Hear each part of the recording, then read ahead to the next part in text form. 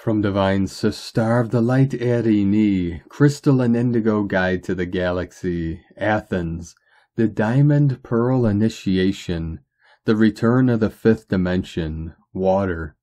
My mother in this lifetime is called Diamond, and my sister is called Pearl. True story.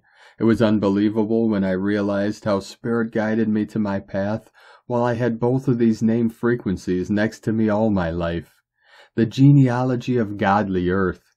I am here in service on the part of my own spiritual family. Each one of us comes from a spiritual family. There are many different spiritual families. These families are big. They are spiritual, but this doesn't mean that all these families were always getting along or that they were always in alignment to each other, nor that we were all in the same evolution stage. There were always differences and disagreements. Many events took place, but when the Dark Ones took over, the consequences were devastating. Many got lost or hurt. There was no apparent way out of the suffering that was caused. 1111 coming in. There were consequences. So because of the superior need, the families decided to come together under a new light for the good of all.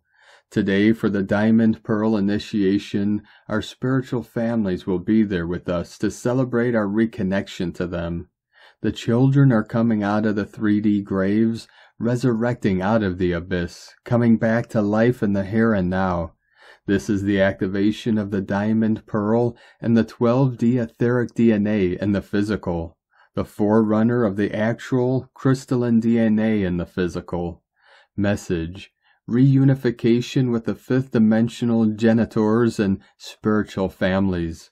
Under the light of the fifth dimension, old and forgotten sources and crystalline matrices powerful enough to hold huge, active crystalline grids will revive on Earth. Physical health, beauty, peace, and abundance will be some of the natural results for those living in these grids. This begins now, and those in alignment with these energies will be guided towards certain actions.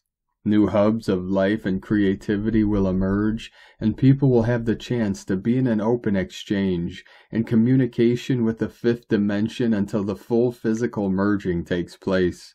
At the time of our meeting, the sun at zero degrees Sag will be in perfect trine to the moon at zero degrees Aries, Saturn at zero degrees Pisces, will herald to all the aquatic world the return of the diamond pearl, changing the waters of life forever. All realms agree to this. This is why the return is taking place.